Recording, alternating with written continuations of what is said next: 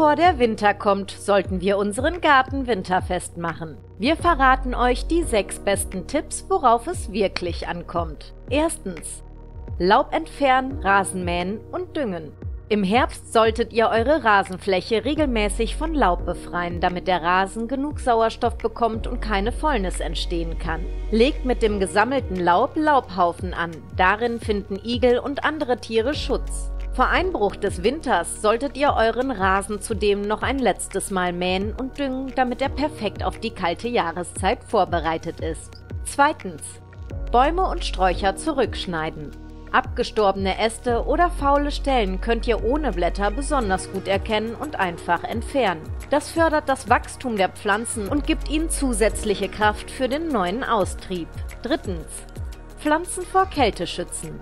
Alle nicht winterharten Pflanzen sollten in der kalten Jahreszeit reingeholt werden. Unempfindliche Kübelpflanzen könnt ihr mit Luftpolsterfolie ummanteln und sie dann an eine schützende Hauswand stellen. Viertens. Wasser abstellen und Tonnen leeren.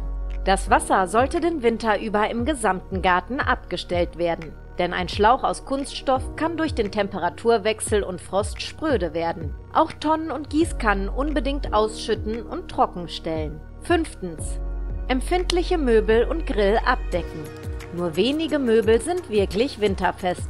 Damit sie im nächsten Frühjahr noch genauso schön sind, solltet ihr sie im Keller unterstellen oder sie abdecken. Das gilt auch für den Grill. Und last but not least, sechstens. Futterstellen für Singvögel aufstellen. Denkt auch im Winter an die Vögel, denn jetzt finden sie besonders schwer Nahrung.